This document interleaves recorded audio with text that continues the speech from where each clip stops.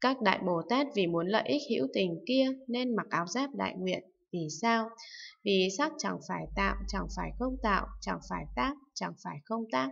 Thọ tưởng hành thức cũng chẳng phải tạo, chẳng phải không tạo, chẳng phải tác, chẳng phải không tác. Vì sao? Vì sắc cho đến thức bất khả đắc vậy. Cụ thọ thiện hiện bạch Thế Tôn, bạch Thế Tôn, như con hiểu nghĩa Phật dạy, sắc cho đến thức, không nhiễm không tịnh. Vì sao? Vì sắc không buộc không mở, thọ tưởng hành thức cũng không buộc không mở. Khi ấy mãn từ từ hỏi thiện hiện, tôn giả nói sắc không buộc không mở, nói thọ tưởng hành thức cũng không buộc không mở phải không?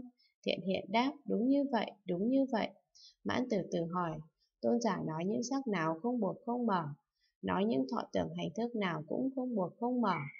Thiện hiện thưa, tôi nói sắc như người biến hóa không buộc không mở, nói thọ tưởng hành thức như người biến hóa cũng không buộc không mở. Vì sao? Vì sắc cho đến thức không sở hữu, nên không buộc không mở, xa lìa nên không buộc không mở, tịch tịnh nên không buộc không mở, không sanh diệt nên không buộc không mở. Đây gọi là Bồ Tát mặc áo giáp đại nguyện hướng thẳng đến đại thừa.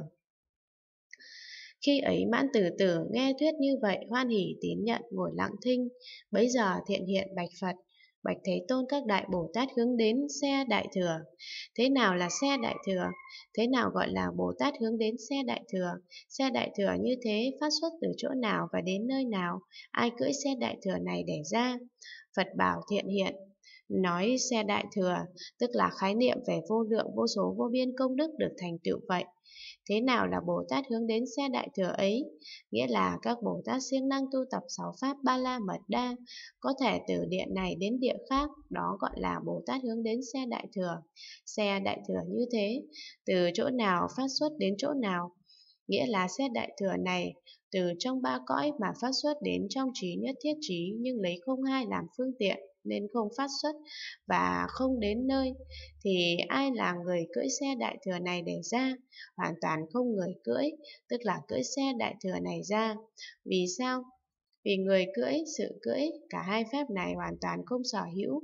Trong không sở hữu, thì ai là người cưỡi? Pháp nào có thể gọi là bị cưỡi?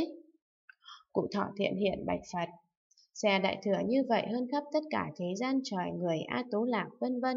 Xe đại thừa như vậy gang đồng với hư không, ví như hư không có thể dung nạp khắp vô lượng vô số vô biên hữu tình. Xe đại thừa cũng như vậy, có thể dung chứa khắp vô lượng vô số vô biên hữu tình, lại như hư không, không đến, không đi, không ở, không có,